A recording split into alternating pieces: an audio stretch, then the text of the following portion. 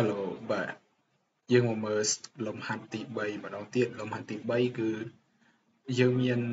solution sodium chloride 15%បាទចំនួន160ក្រាមអានេះគឺយកវាទៅលាយនៅក្នុងទឹក40ក្រាមបាទហើយឲ្យយើងគណនាកំហាប់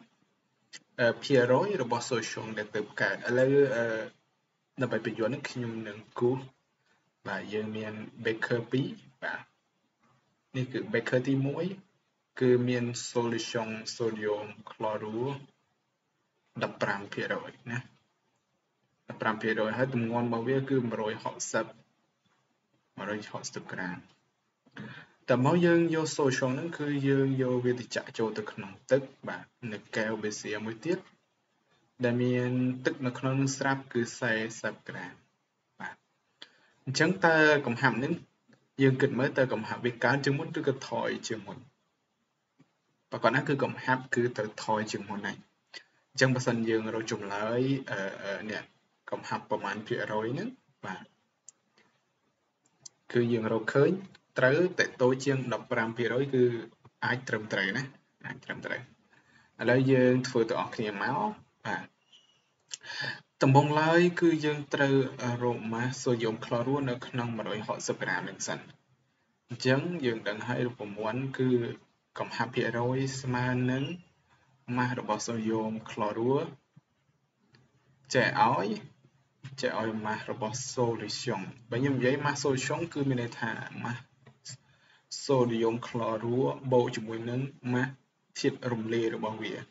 យើងដឹងហើយ sodium chloride គឺគេរំលាយនៅក្នុងទឹកអញ្ចឹងយើងបូកនឹងម៉ាស់ទឹកប៉ុន្តែម៉ាស់ sodium ហ្នឹងគេប្រាប់ហើយគឺប្រហែលណាគ្នា160 160ក្រាមបាទហើយភាគរយគេប្រាប់ហើយគឺ15ភាគរយអញ្ចឹងគឺយើងទាញរកបាទទាញរកម៉ាស់របស់ sodium sodium chloride អញ្ចឹងយើងទាញមកបោះទូចអានេះចែកបោះទៅខាងឆ្វេង ឆ្លងសញ្ញាស្មើគឺទៅជាគុណណាគឺយើងយក160បាទ160ក្រាមគុណឲ្យ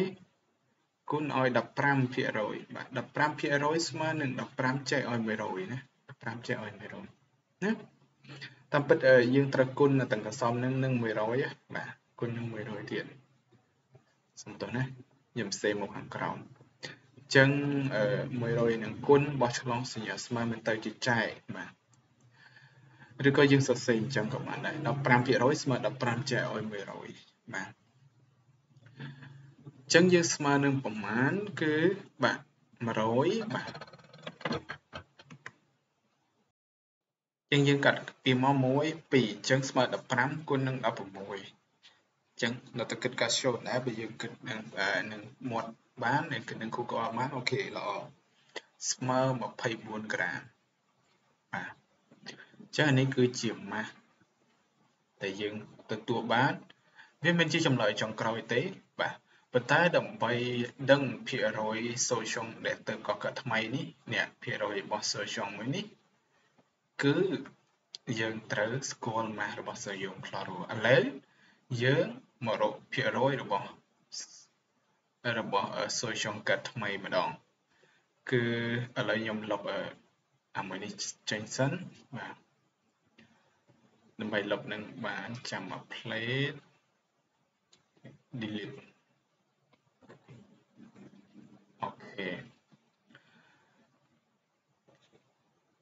អញ្ចឹងអឺគណនាបាទឥឡូវកន្លែងនេះខ្ញុំសេចម្លើយទី1គឺអា15%នេះគឺយើងស្មើនឹង24ក្រាម24ក្រាមណាបាទ អញ្ចឹងយើងគណនារកកំហាប់ណារកកំហាប់កំហាប់ថ្មីអញ្ចឹងមកយើងដាក់វាថ្មីព្រោះវាធ្វើពីសូវខ្ញុំថ្មីអញ្ចឹងរូបមន្តដដែលគឺភាគរយបាទស្មើនឹងបាទ mass sodium chlorure ចែកឲ្យបាទ mass solution បាទ mass sodium chlorure មុននឹងគឺយើងរកឃើញនៅក្នុង160ក្រាម solution ហ្នឹងយើងរកឃើញ24ក្រាមបាទសូអទាំងអស់ហ្នឹងគុណនឹង100កុំភ្លេចណាកុំភ្លេចអូខេគុណនឹង100ឥឡូវសូយើងផ្លោតរួចស្គាល់ហើយគឺ24ក្រាមបាទចុះ mass solution mass solution ស្មើប៉ុន្មានអ្នកនរអ្នកនេះដឹងថា solution ទី1នេះគឺមានម៉ាស់14ក្រាមហើយបូកទៅក្នុងចាក់ចូលទៅក្នុងទឹក40ក្រាមទៀត អញ្ចឹងយើងយក160បូកឲ្យ40បាទអញ្ចឹងយើងនឹងបាន200ក្រាម200ក្រាមដូច្នេះយើងជួសចូលមក24ចែកឲ្យ200ក្រាមគុណនឹង100បាទគុណនឹង100អញ្ចឹងចម្លើយគឺប្រមាណភាគរយដល់គ្នា12 12ភាគរយ2ភាគរយអូខេអញ្ចឹងនេះជាលំហាត់ទី3